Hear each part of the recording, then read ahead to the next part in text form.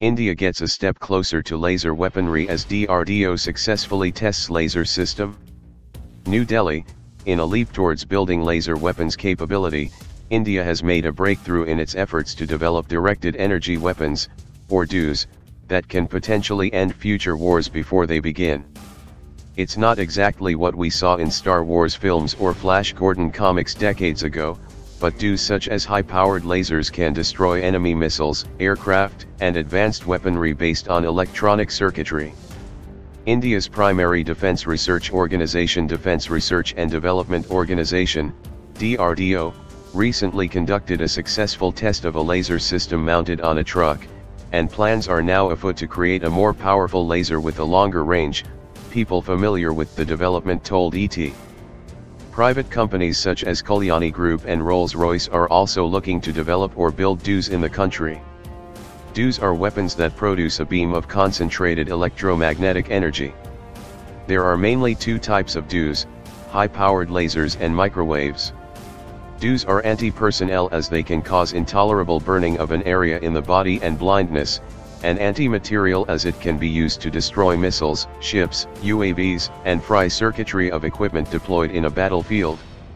While information is not available on whether India is developing microwave weapons, DRDO tested a 1 kilowatt laser weapon system mounted on a truck at Chitradurga in Karnataka towards August end. The laser beam hit a target located 250 meters away, an official said. It took 36 seconds for it to make a hole in the metal sheet.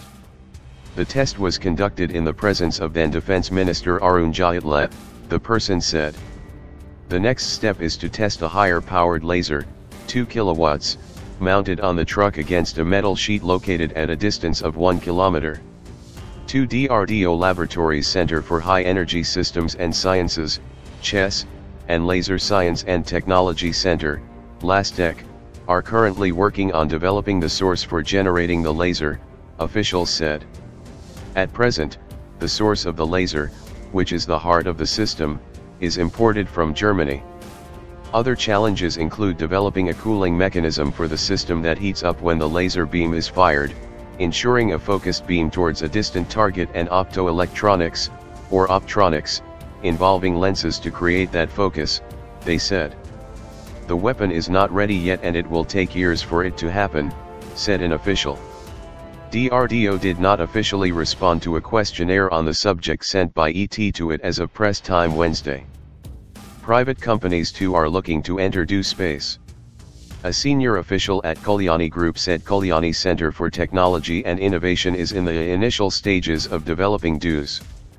We are identifying two segments, lethality to kill and survivability aimed at destroying incoming missiles, the person told ET. We will initially be working on the latter and are setting up a lab in Pune. Rolls-Royce's Global Strategic Marketing Director Ben Story, in a conversation with ET had recently said that there are conversations happening between the company and India on DEWs. A release by Press Information Bureau back in December 2013 had confirmed that DRDO's CHESS and LASTEC were researching on DEWs and laser technology, respectively.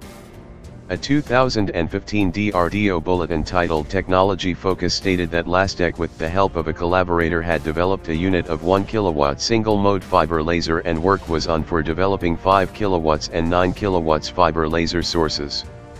LASTEC has also developed a 10 kW chemical oxygen iodine laser, COIL, and is working on developing a 30 to 100 kW vehicle mounted COIL system, sources said.